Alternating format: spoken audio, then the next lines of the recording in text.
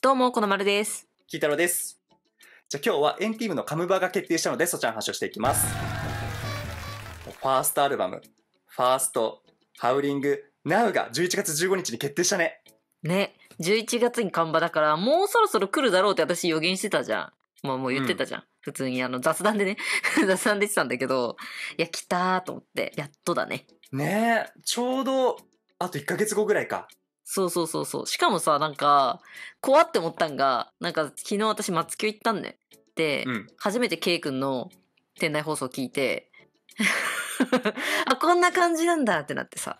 そしたら、キャンペーンは11月15日までみたいなこと言ってて、発売日の前のやつだと思って、やっぱり。じゃあそこでちゃんと切り替えられとるわけね。そうそうそう。こうなんかうまいことやっぱ、こう、ちょっと予想してたけど、やっぱそうだったんだ、うんみたいな。そう。なるほどね。そっか、だからルネさんは11月15からまたね、忙しくなるから、それまではまあ月売で楽しんでね、みたいな。ね、そうそうそうそう。私、あとは、なんかいろいろあるんだけど、なんかさ、まあ、今回フルアルバムじゃん。で、なんか、まあ、だからか、かはわからんけど、なんかさ、今までの特典がさ、今まで日本で開催してた特典よりも、なんか結構良くなってて、例えば、うん。なんか韓国で行われてるさ、よくサイン会とかあるじゃん。サイン会で写真撮って、なんか好きな被り物とかさ、なんか身につけてほしいものを渡して、つけてもらって、かわいいみたいになるやつがさ、まあ、大好きなわけだけど、あれ日本でも可能になって、あ、そんな、そんなことあるんだと思って。えー、あれさ、よくさ、あのー韓国のファンの方が、マスターさんとかがさ、後ろで撮っとる、すごいなんか、もうす、すごい可愛いやつだよね。いや、そうなん。え、なんかありえんやつ、なんかありえんやつ採用してきたと思って、最高ってなって。え、それすごいね。え、なんか日本でそんななくない？いや、ないないない。だってやっぱ今までってね、あの、本当 AKB 方式の方がやっぱ先に主流になっちゃったから、結構 AKB っぽいさ、こう、見えんくて、どういう様子か全く見えんくて、出番でーすって背中押されていったら、あーみたいになるやつ だったわけじゃん。そうね。で、まあ何秒か握手とかお話しして、お時間でーすって言って波形させられるみたいな。そうそうそうそうそう。あのなんかもうパーテーションで見えないみたいなさ。で、ケイ君立つと見えちゃうみたいなさ、なんかそういうあれだったんだけど。身長高いから。身長高いから。そういうあれだったんだけど、まあ、今回はそういうさ、今までやっぱさ、ルネさんが、もっとこうだったらいいのにな、みたいな感じのやつ。日本でもこういう風にやってくれたらすごいいいな、みたいなさ。やっぱ距離の近さは、まあ日本も開催は多かったけど、韓国の方がさ、やっぱプッチョもらったりとかさ、結構近いやつあったから、ねえ、それ、ずっと言っとるやん。プッチョいいな、っつって。韓国無料でもらえるんだ、みたいな。そう。例えば、え、ケイコンどれぐらい使ったっけなみたいな。これはまあぐ雑談ですけど。うんとかね。なんかそういうあれだったから嬉しいよね。あと、まあ、そもそもサイン会がさ、個別で選べたりとか、今までほら、ナンバ式で、うんナンバ式って言ってみんなわからんよね。わからん、伝わらん、伝わらん、俺しか。あランダムでね、メンバーがランダムでみたいな。なんかあれってさ、いろんなメンバーと出会える楽しさがあるっていうのはさ、ね、いろんなメンバー好きにななれたりとかなんか、うん。楽しかったりするわけだけど、なんか、いやいやいや、みたいな。一方でそのさ、個別で選べるやつもくれーって思ってたじゃん、やっぱり。うんうんうん。そうだね。やっぱり9人ってなったらね、推しがさ、1人の場合みたいな。大変だよね。そう。そう。だってナンバー式ってさ、結局あれって NMB48 が結局さ、メンバー60人ぐらいいる中で、ランダムで本当にさ、結局本当に誰が当たるかマジでわからんから楽しいみたいなやつだったじゃんね。あれは。うんうんうんもはや。。確かに。ちょっとエンタメ要素強いよね。60人もいたらね。うん、そうそう、人数がやっぱ多いから、なんかそれだけいろんな楽しみがあったわけだけど、まあもちろん楽しいけど、みたいな。なんか、そうそうそう、ランダムじゃない方が私はいいなと思っとったら、やっぱり今回個別できたから、よかったと思って。なんでランダムだったん逆に。確かに。そっか。だからもう申し込みの時点で決められるってことね。メンバーを。うんうんうん。うん。うん当たった分だけ払えるわけじゃないもんね。知っとるけど。確かに。AKB 当たった分だけだから。そうそうそう。そうキャラにってサイトでね、あの、当たった分だけ決済するから。キャラギっていうなんか謎なね、お謎なサイトで確かに買ってたわ。懐かしい。で、まあ、今回のアルバムの概要についてね、あの、ビルボードのね、記事とかもあるんだけど、まあ収録曲の詳細は後日解禁されるが、アルバムのロゴモーションが公開となったっていうね、あのなんか、ちょっと YouTube でも公開してくれてたよね。なんかウィーンって動くやつが。そうそうそう。まあ、似ている小さな立方体が集まることで Now、N、O、W という文字が形成されそこから眩しい光が世界に放たれるこの映像では満を持して今世界へ飛び出していく少年たちの強い意志が表現されているとのことっていうだからやっぱストーリー仕立てだもんね、本当にね。うんだからさそのこの記事にもあるけどデビュー EP では変わりたいという心の声を叫び同じ思いを持つ君の存在を確認してでセカンド EP では探し求めた君に出会った喜びを叫んだ ATM って言っててだからその全てつながり流れがあって集大成なんだね今回の Now でうん、もう本当にね。すごいなんか、君の、君がいましたでミー。で、出会いました We で。うんってこと ?We リンクってこと？今、私たち We リンクってこと？そういうことあそこで挨拶につながる つながる？なるほどね。でもなんか、結構さ、色の感じがさ、もうほんと黒くて黄色いじゃん。今回ロゴの、エンティームのロゴだってさ、一気に変わってさ、急に。変わったねいろいろ SNS とかねそうそうそう。なんか今まで結構さ、どこかこう少年味のあるようなさ、ピンク、青みたいなさ、色のトーンもそんな強くなくて、ちょっとなんか柔らかい感じの印象もあるような色を採用してたけど、一気に結構ね、怖い、怖いっていうかちょっと強い感じ？まあ黄色が明るいから光なんかね。ねえなんかちょっとあのそうだねなんかちょっと黒と黄色ってさ注意みたいなイメージの色だからちょっと強く感じちゃうよねうんうんうん、そうだね。まあでも、今世界飛び出していく少年たちの強い意志か。なんか、その君はどこに行ったんかね？一緒になって走り出すみたいな、そういうあれか。あーなるほどうん。手を取り合って、そうそうそう。だってそうだよね。今まではさ、君を探していたとかだからさ、やっぱり。そっかそっかえー、そっか歌詞もつながっとるんやねじゃあそう。てか、なんならさ、ごめん、ちょっとさ、今、記憶で話すけど、なんか X のポストで、その Now って言葉が結構今までの歌詞には出てきてたみたいな。Now っていうワード自体が。なんか伏線すごいみたいな。そうなんだそうそうそうそう。なるほどだからさその伏線で言ったらそのセカンドで出たコンセプトフォトみたいなやつであのスプーンの上になんかアルファベットのなんかシリアルみたいなのが載ってて「Me」「We」「Now」って載ってたんだよねそう、それ5月のやつで、5月に出てたやつだったから、なんか、あ、もう、もう私たち実は知ってたんだ、みたいなさ。ええだって結構これ分かりやすいスポだよねよく考えうたら、んうん、そうそうそうそうそう。まあなんだろうみたいなさ、感じだったけど、まあやっぱこうね、で、ね、もうだ、もうだ、決まってたんだね。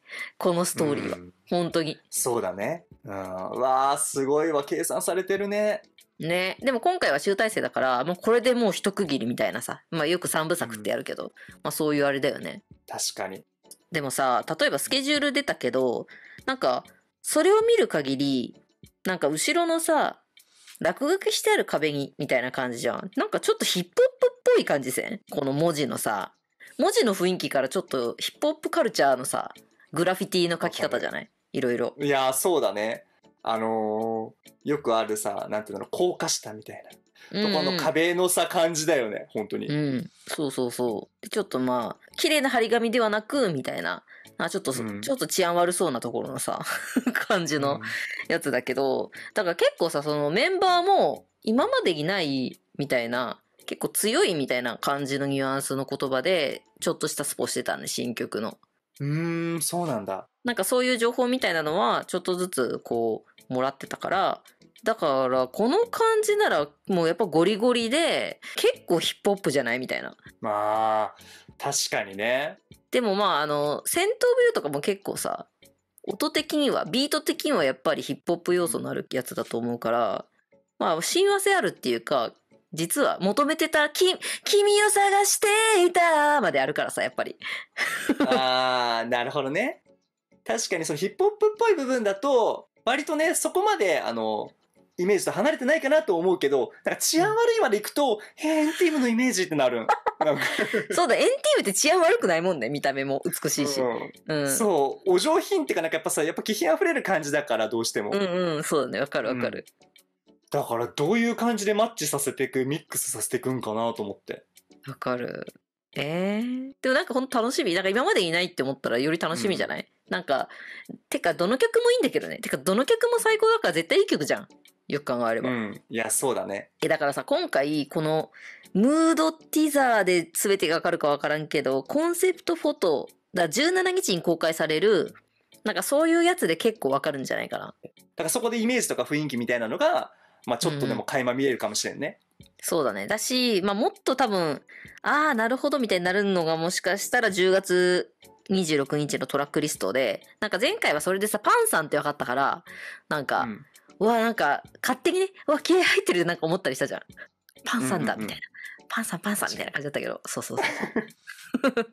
で、パンさんアメリカで大豪邸持っとるの知っとった。すごい豪邸な。知らんちゃうよ、そんなの。なんかすごいセレブの、すっごい有名な方のお家をさ、買い、買ったらしくて、うん。アメリカにめちゃいい豪邸やって、そこに NF 招かれるみたいなニュース見て、すごーってなったんね。えー、いいなぁ。いやいや、何の話？パンさん、豪邸の話？パンさん。パンさんの豪邸の話。パンさんってだけで、まあ、絶大な信頼があるっていうか、なんかね。うんうん。もちろん。まあもしかしたら我らが相馬さんのさ、手腕がゴリゴリに発揮されとるかもしれんし、相馬さんもいいもんね。そう。相馬さんやすしも求めとるまであるよ、私は。なんだろいやー、それブラインドラブのタッグ。う。そう、あれも良かったよね。まあ、あとさ、なんかどうなるかは実際は分からんけど、やっぱり結構さ、すぐカムバした時に韓国で活動するってそのまま、もう前回の活動の時にも言われてたから、もうこのまま出したらオフィシャル MV 出たらすぐ韓国そのまま活動入るかもしれないらしくて、おー。そう。まあ日本でもしかしたらさ、よく行き来する NT だから、ね、地上界の赤ちゃん天使みたいなさ、なんか、あの感じで、ね、あの、すぐ渡韓したり、帰国したりみたいな繰り返したりするかもしれんけど、まあ韓国活動しながら日本でもなんか撮影済みか、生放送か知らんけど出たりとかいろいろあるんだろうなと思って。あー。えー、すごいね。だってもう11月の後半でしょってことは。うんうん。うん。で、12月になったらさ、またね、年末だからさ、それはそれでさ、すごいまた祭典とかで忙しくなるだろうし。そうだね。採点がどこまでこう出れるかわからんけど、やっぱね、うん K-POP アーティストとして最近こう、ファイアワークの時からさ、なんかそういう感じではあったけども、なんかどういう扱いになるかはまだわからんし、一応もう招待されとるやつ、ええはあるけども、みたいな感じだけどさ。うんうんうんそうだね。うん。えー、じゃあ、今年後半にかけて、どんどん楽しみになってくるね。そうだね。去年の今頃とかは本当に音沙汰なくて、なんかちょっと、だいぶざわついとったんで、皆様。そっか、去年の今頃まだデビューしてないもんね。11月末ぐらいにやっとこう MV とか出てみたいな感じだったはずだから、やっぱ今頃だったらあんまりまだこう音沙汰ないなみたいな感じだった気がするんよね。ちょっと、その時私はルネじゃなかったからわからんけどさ、あんまり。うんうんうんううん。ん。よかったねっていう、こう忙しいさ、大変だろうけど。うん。えこう嬉しいよね。え、てか、忙しさで言ったらやっぱ K 君の赤坂ミニマラソンがさ、もうすぐなわけだけどさ。あー、オールスター大感謝祭の。オールスター大感謝祭の。なんかてかうん赤坂ミニマラソン自体すごい久々なんだって、コロナ禍から復活してみたいな。あ、そうなんだ。なんかさ、そそこまで毎回さ、ずっとさ、うん見とるわけじゃないからあれだけど、ずっとやっとるイメージはあったわ。う。わかる。ね、タララタララタラララララって。だから、そう、私もあんま見てなくて、そうなんだと思って。しかもあれ結構尺取るんだよね、赤坂ミニマラソンってね。いやー、そうだよ。だって結構、うん。だってずっと、その、走ってる間はさ、うん。流れてるわけだから。見れる？走ってる？うん。え？やばいね。いや、本当行きたいんだけど、時間帯が意外と遅くて無理ってなったんだよ、私。マジで？本当に行こうとしてたんだけど、時間調べて調べ上げて、最初。ミニマラソン何時ぐらいなみたいな。だいたいやっぱ夕方とかさ、夜とかで。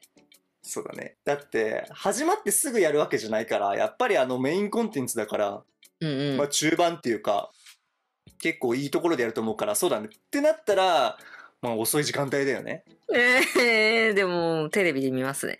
録画です、私はうん。うん。確かにそうだね。え、だって K 君がそんなにマラソン的な感じで走る姿なんてそうそう見れんくない？まあそうだね。普通の、あの、だこありがたいコンテンツのやつで言ったら、もうあの、ほら、韓国のコンテンツでやった、なんか身体測定とか、なんかそういうやつ、あの、ベクホさんと一緒にやったやつ、あの番組とかで、あの、ランニングされてるやつ見て、一生みんな湧いとったわけだけど、K ペンは。うん。そうそうそう。あれがさ、長時間、長尺かわからんけど、あれが、いわゆるまあお茶の間に流れるっていうことなんやろ？そうだね。めちゃくちゃ顔かっこいい背高い人が走っとるんやろ。そうそうそう、やばいやな。どうする？うん大丈夫かね？お茶、テレビ壊れんかね？大丈夫かね？バーンみたいな。イケメンすぎてバーンみたいな。ならんかね？もうテレビバグるんけ。バグっちゃう。じゃ じゃなくてそうそれもやっぱりハードスケジュールらしくてなんかなんならこの動画出す日にはまた渡韓してるとか言っていやもうすぐミニマラソンだけどやっぱこうなかなか時間取れないんだなと思ってさうわー、大変だね。行ったり来たりすんの。移動大変だからね。疲れるからね。いやそうそうそう移動だけでも大変だよねとかうちら雑談言ってたけど本当に大変そうな顔しとったもんねうちらね みたいな移動ってちょっとねみたいなうんそう。しかもそうやって走るってなったらコンディションね、整えなきゃいけないからさ、そのリズムとかさ、うん生活もね。うん、忙しい中でそれも準備しなきゃいけないって大変だよね。そうだね。だから、こう、あまり、こう、いちいちって言わないでくださいみたいな、ケイ君がなんか投稿してたりしてたんだけど、うん。うん。まあ、ケイ君は走ってるだけで優勝みたいなとこあるからさ、なんか、怪我なく、そうそう終わってくれればいいな、みたいなね。確かに、そうだね。以上でね、今回はエンティームのファーストアルバム、ファーストファウリングナウの発売が決定したので、そちらの話と、あとケイ君の赤坂5丁目ミニマラソンの話もね、ちょっとしたんだけど、いや、本当にカムバも決定したし、まあそういうさ、ケイ君のマラソンも見れるっていう楽しみを控えてて、なんか本当、こう年末にかけてすごいやっぱ楽しいコンテンツがね、増えてくるね。そうだね。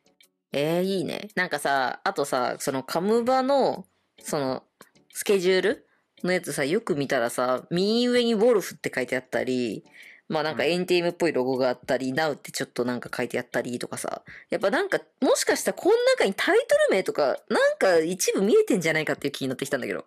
あー、あり得るね。例えばこの、あり得る？うん。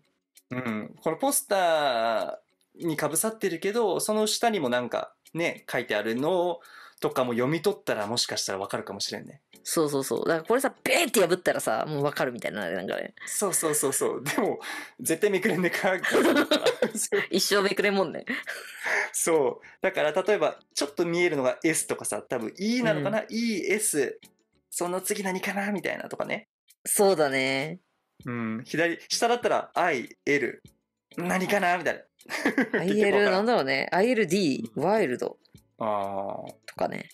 そうだね。ええまあ分かるわけないよね。でもね、うん。ねえ。ちょっとわからんけどなんかいろいろヒントがあるかもしれんね。そうだね。まあだからさ次のエンティームの活動が楽しみだよね。そうだね。